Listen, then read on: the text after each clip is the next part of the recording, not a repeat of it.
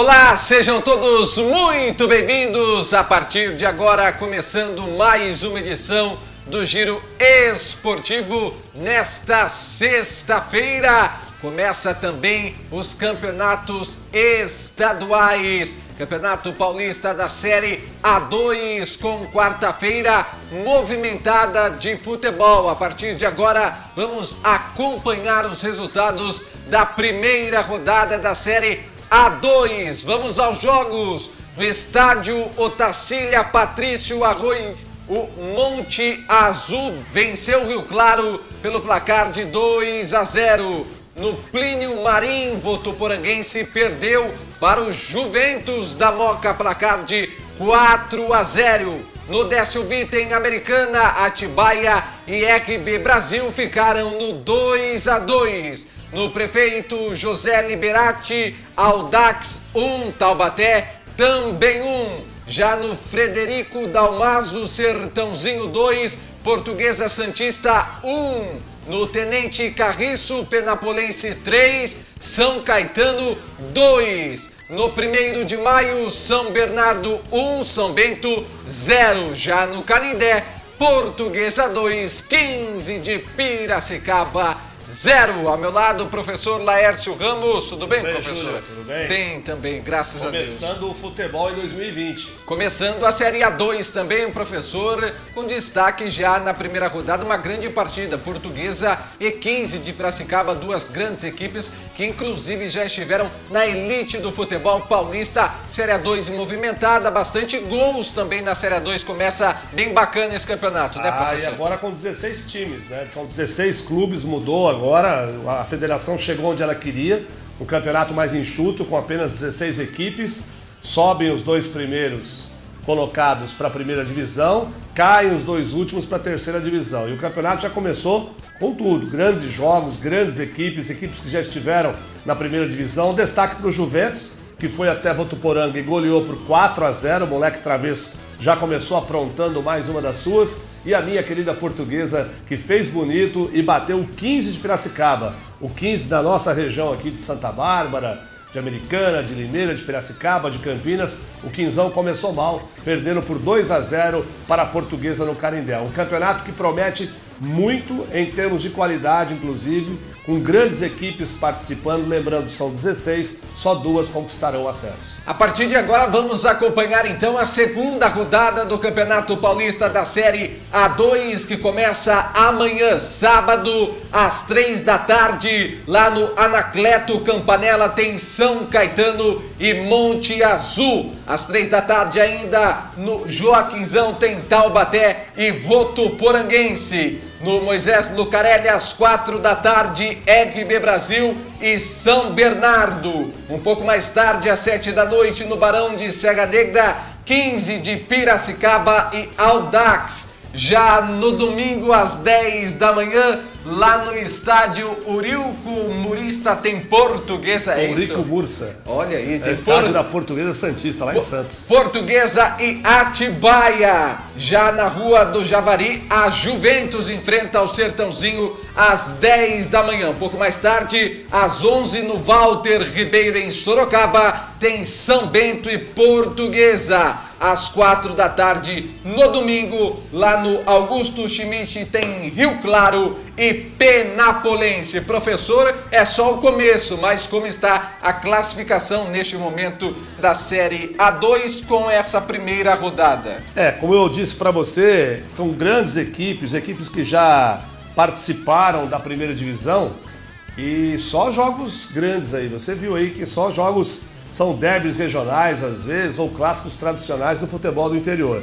O Juventus, que conquistou uma vitória junto com a Portuguesa, junto com o Monte Azul, junto com o Penapolense, com o Sertãozinho, com o São Bernardo, começaram bem, já começaram vencendo a primeira partida, tem três pontos ganhos. Como eu disse, destaque para o Juventus e também para a equipe da Portuguesa que estão liderando. E lá embaixo, o Rio Claro e Votuporanguense, que perderam por, por placares um pouco maiores, estão na lanterna. Mas quem começou com vitória foi o caso de Juventus, Portuguesa, Monte Azul, Penapolense, Sertãozinho e São Bernardo, já começam bem. Se bem que é só o início, São 16 equipes, o campeonato está começando e a segunda rodada já vem por aí.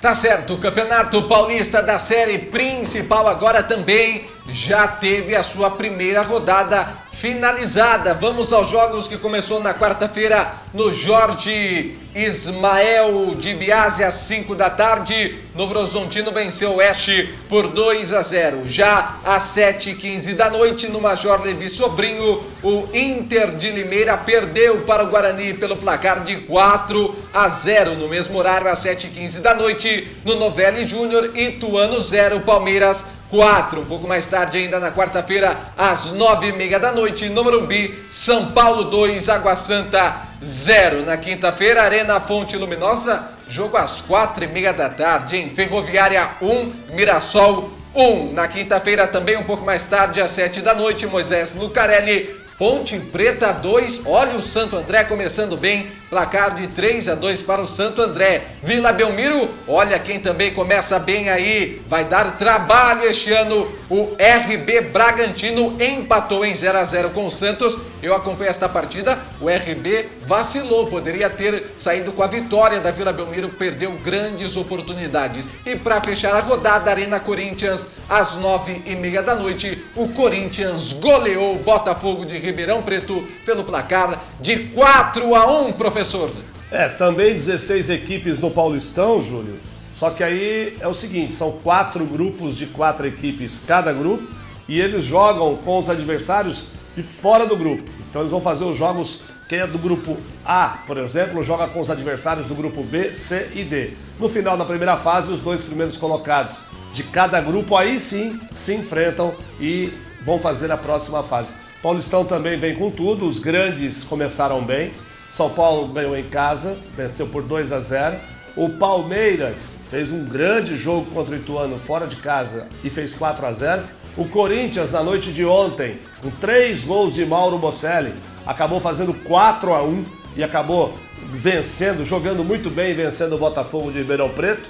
E o Santos, como você mesmo disse, foi o único 0 a 0 da rodada. Empatou na Vila Belmiro contra o Red Bull Bragantino, que vem muito forte nesse campeonato. Foi um jogo muito difícil. Dos quatro grandes, quem encontrou a maior dificuldade foi o Santos, um adversário de muita qualidade que vai dar muito trabalho neste campeonato. E já na segunda rodada, vem clássico por aí, a Rádio Brasil estará presente. Antes da segunda rodada, professor, destaque também para duas equipes aqui da região, Inter de Limeira e Guarani. A Inter foi goleada em casa para o Guarani pelo placar de 4 sim, a 0. Sim. A Inter de Limeira, na sua opinião, é esta temporada, este campeonato, vai ser uma equipe para brigar por permanência, contra rebaixamento, não é cedo ainda? Ah, é cedo, né? E a Inter está voltando à primeira divisão depois de muito tempo A Inter que já foi campeã paulista, inclusive, da primeira divisão, em cima do Palmeiras, acho que 89, 88, 80. Década, final da década de 80,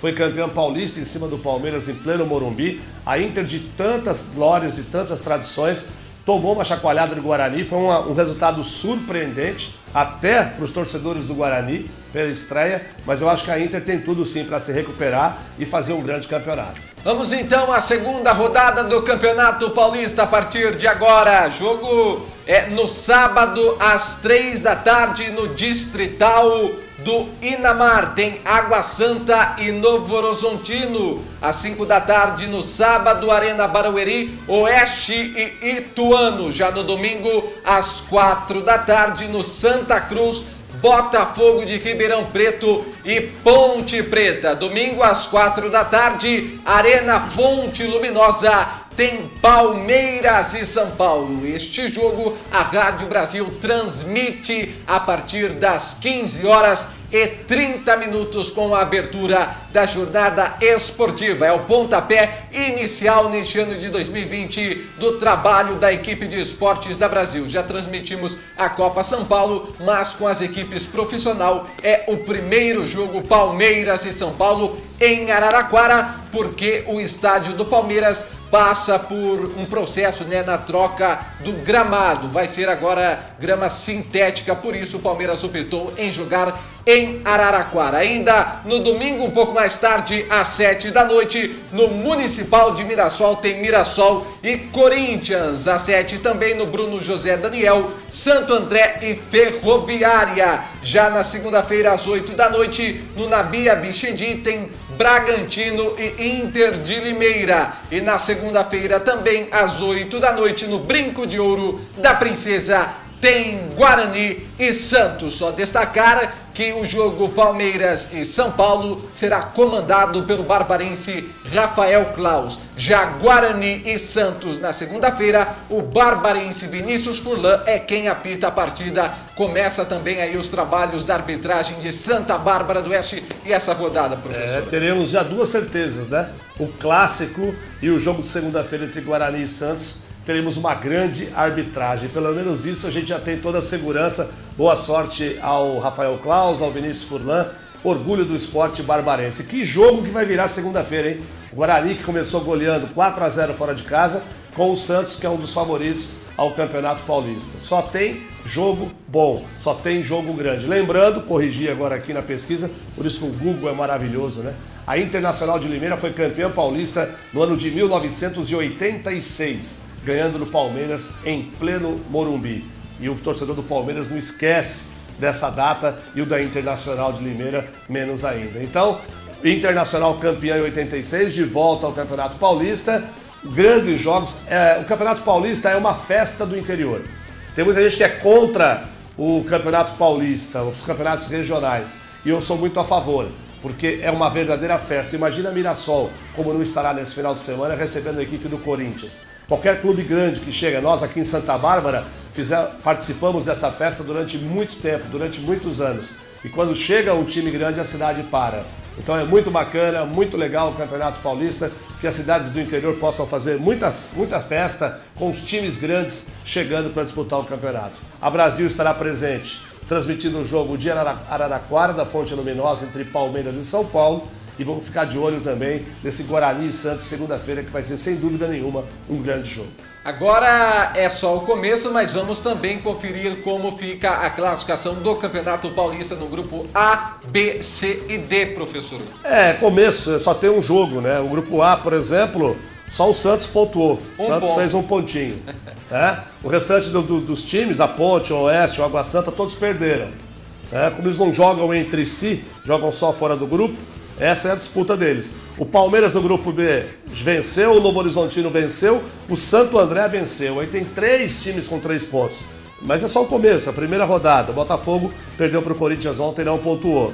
No grupo C, o São Paulo foi o único que venceu. O Mirassol empatou, tem um ponto. A Inter de Limeira e o Ituano não pontuaram. E no grupo D, Guarani e Corinthians começaram bem com três pontos ganhos. E a Ferroviária e o Red Bull Bragantino têm um ponto. Vai ser uma disputa muito acirrada, acirrada do começo ao fim. Tenha certeza disso. Vai ser um campeonato bem bacana, bem legal e tiro curto. Então o torcedor tem que curtir rapidinho. Antes de fecharmos o giro esportivo desta sexta-feira, Amanhã, estádio Paulo Machado de Carvalho no Pacaembu, tem a final da Copa São Paulo de Futebol Júnior às 10 da manhã. É aniversário de São Paulo, mas quem faz a festa são os gaúchos. Aliás, Internacional de Porto Alegre e Grêmio duelam pelo título da Copinha. O Inter buscando o seu quinto título. O Grêmio busca o título inédito na competição. Santa Bárbara do Oeste foi pé quente ou não foi para o Internacional? Foi. Professor Fábio Matias aqui da nossa cidade. Fabinho Matias, tá, a cidade inteira está torcendo pelo Fábio Matias, né? Pelo, pela família dele que mora aqui em Santa Bárbara do Oeste, lá no Jardim Dulce, onde só tem gente boa, né? O Zé Rubens, o pai dele, então, toda a família, a gente deseja boa sorte. Santa Bárbara, para quem não sabe, Santa Bárbara foi a sede da primeira fase do Internacional, disputou as três primeiras partidas aqui, venceu as três. Aliás, o Inter está invicto e é a melhor defesa do campeonato. E é claro que toda a cidade e região está torcendo aí pelo Internacional, pelo Fábio Matias, pelos seus familiares. E a Rádio Brasil, aqui no AM690, também foi muito pé quente, é porque transmitiu ao vivo os três primeiros jogos da primeira fase aqui no estádio Antônio Guimarães. Os quatro, né? Teve segunda fase aqui com volta redonda. Acabou fazendo o primeiro jogo da segunda é, fase aqui segunda também. Fase. Então, tá de parabéns o Inter, boa sorte ao Fabinho Matias, aos seus comandados. Vai ser um grande jogo e merecido o Inter e Grêmio chegarem a essa final dessa 51ª Copa São Paulo e a grande final amanhã no Pacaembu. É dia de Grenal. Que seja um grande jogo e que vença aquele que se apresentar melhor. Vamos torcer para o Inter, que se for campeão, será campeão invicto da 51ª Copa São Paulo de Futebol Júnior. Ponto final em mais uma edição do Giro Esportivo nesta sexta-feira. Um convite a você que não é inscrito no canal da TV SB Notícias. Se inscreva no canal, ative o sininho também para receber notificações todas as vezes que a TV estiver ao vivo ou postar um novo vídeo. Se você já é inscrito, compartilhe. Compartilhe este vídeo, compartilhe o canal da TV SB Notícias com outras pessoas para que possamos alcançar o máximo de pessoas. Obrigado pela sua companhia, professor também. Grande Muito abraço. obrigado, grande abraço a todos, ótimo final de semana. Segunda-feira nos encontramos. Tchau!